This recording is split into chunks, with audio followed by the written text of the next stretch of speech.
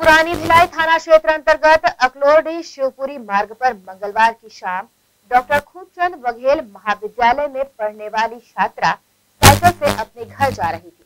तभी उसे कार में आकर आरोपी करण देवांगन ने रुकवाया और रिश्ता रखने का दबाव बनाने लगा।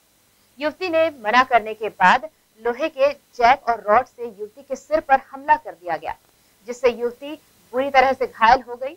यह देखकर आरोपी करण देवांगन कार में बैठे अपने मित्र राहुल सिंह के साथ मौके से फरार हो गया। अपराध दर्ज होने के बाद पुलिस ने दोनों आरोपी को हिरासत में ले लिया। दिनांक इकतीस एक दो हज़ार तेईस को शाम तकरीबन चार बजे सूचना प्राप्त हुई कि कुमारी भारती साहू जो शिवपुरी थाना जामुल की निवासी है। खूबचंद कॉलेज भिलाई तीन में अध्ययनरत है।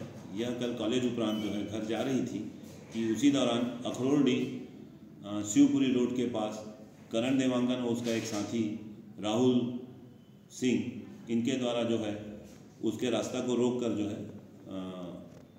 उस पर जो है प्राण घातक हमला किया गया, जिसके उपरांत जो है लड़की को, बालिका को उपचार हेतु सनसाइन हॉस्पिटल भर्ती कराया गया है।